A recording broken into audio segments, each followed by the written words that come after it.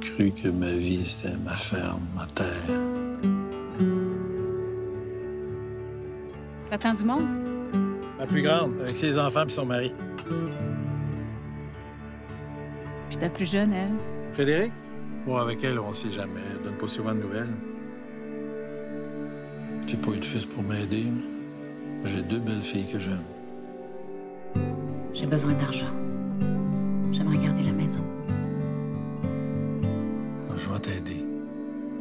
175 ici, qui m'en donnerait 200, et 175, vous donnez 200 bien. Combien je pourrais retirer si je vendais? Si je démantelais la ferme? Pas de toi, mon Gabi. Elles sont bien assez grandes, tes princesses. Allez, allez, allez, allez, allez, allez! Ça serait injuste que tu gardes tout pour toi. Il y a toujours été des étrangers ici. Il n'y a jamais eu un homme qui s'est inquiété pour cette ferme-là.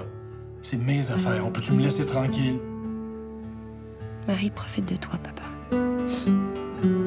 Ça. T'as toujours dit qu'une ferme, ça se vendait pas, que ça se transmettait. Mais oui, mais ils veulent pas, Françoise. La terre de ton père, tes astis de moutons, Gabi! Tu vas aller où? Tu vas aller où?